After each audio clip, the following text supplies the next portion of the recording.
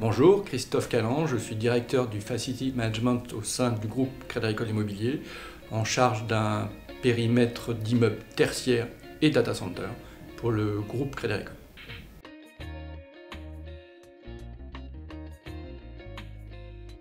Le concours Cube, on le connaît bien en tant que Cube tertiaire concours, puisqu'on le pratique depuis 2017.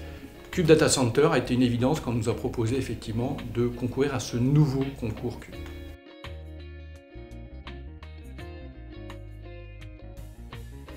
Un, euh, on connaît le, bénéfice que peut avoir le concours Cube sur le tertiaire. Euh, on s'est dit que sur les data centers, ça peut être de nouveau une dynamique supplémentaire pour euh, tout ce qui est sobriété énergétique dans les centres informatiques.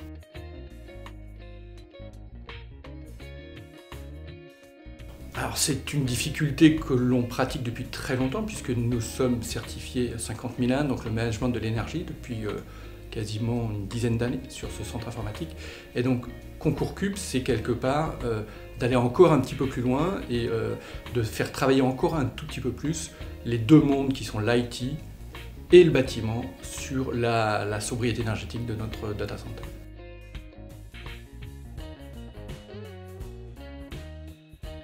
Qu'est-ce qu'on attend? On attend euh, quelques opportunités supplémentaires pour aller encore un peu plus loin dans euh, les, différentes optimisations possibles sur les consommations à la fois bâtiment et IT, et bien embarquer l'IT dans les optimisations énergétiques.